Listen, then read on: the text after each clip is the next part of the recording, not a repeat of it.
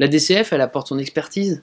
La DCF, euh, elle permet de porter aussi euh, la cause de l'intercommunalité.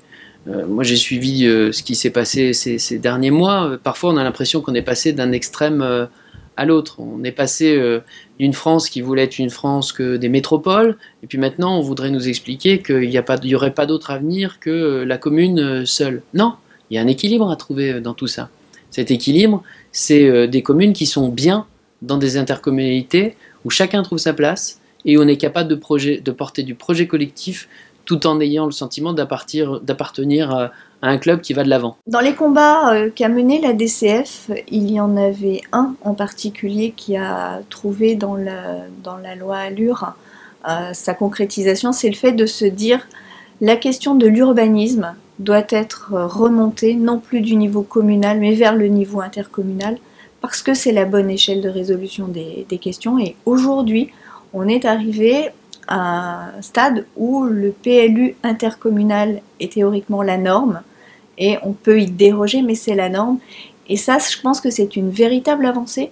L'environnement, on voit bien que l'environnement, le traitement de l'eau, que ce soit l'eau potable ou euh, l'assainissement, le traitement des déchets, l'impact sur l'environnement de la vie humaine, avec également la qualité de l'air et, l'ensemble de, euh, de, cette transition écologique dont il s'agit, c'est bien par bassin de vie que l'on agira. Je crois que personne ne remettra ça en question et c'est bien une des valeurs et des plus-values qui ont fait que l'intercommunalité aujourd'hui est une réalité. Il y a un vrai enjeu aujourd'hui à l'échelle de nos bassins de vie de recréer euh, une cohérence dans ce développement économique, ce développement de l'habitat, et donc les réponses en termes de mobilité, en termes de consommation énergétique, etc., à l'échelle des bassins de vie, de façon beaucoup plus organisée. Et donc, si l'intercommunalité demain a un vrai rôle stratégique, une vraie plus-value à, apporter, c'est justement de bien penser euh, ce développement du territoire de façon euh, cohérente avec la planète à l'échelle de ce bassin de vie. Si on veut réussir le climat dans nos territoires, eh bien c'est à l'échelle de l'intercommunalité. Pourquoi?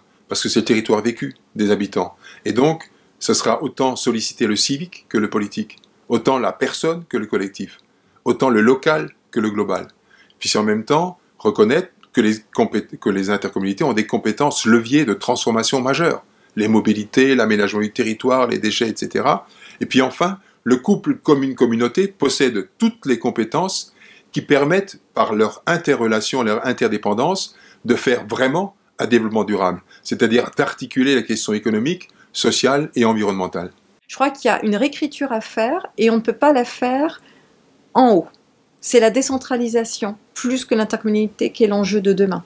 Je crois sincèrement qu'on doit faire du sur-mesure sur les territoires sous forme de contractualisation territoriale globale. Se mettre ensemble autour de la table pour dire qui fait quoi au mieux, se sortir un petit peu du carcan normatif, arrêter de créer des lois, arrêter de faire des lois bavardes, et laisser les territoires s'organiser parce que ce qui correspond à un territoire donné ne correspond pas à l'autre.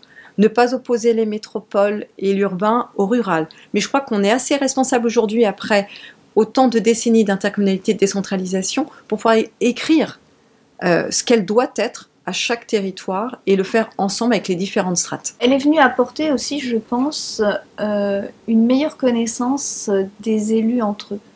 Parce que je pense qu'on connaît tous la commune voisine de la nôtre. Par contre, on ne connaît pas forcément euh, ses réalités.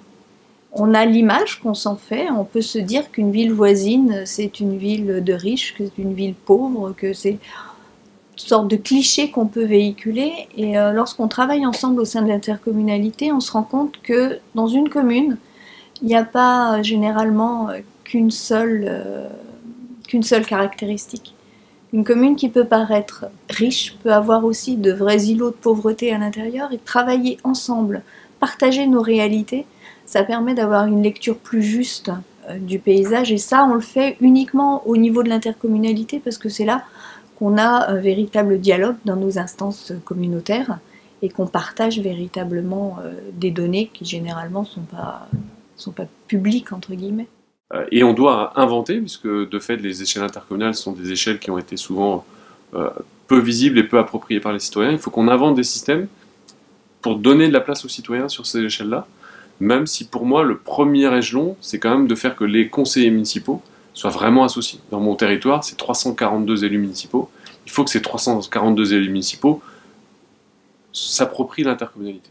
Il faut effectivement qu'il y ait un, un mode participatif très fort. Il faut aussi qu'on sache, et l'interco est, fabuleuse pour ça, parce qu'on peut euh, y faire beaucoup d'expérimentations pour y développer la participation citoyenne. Là-dessus, il y a des expériences fabuleuses qui sont faites. Moi, je plaide à la DCF pour qu'on puisse valoriser les bonnes pratiques.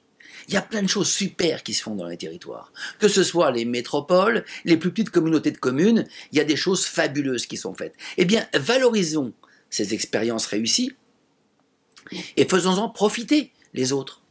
Encore une fois, la France, elle n'est pas unique. Moi, j'en ai par-dessus la tête des procès qui sont faits aux élus locaux.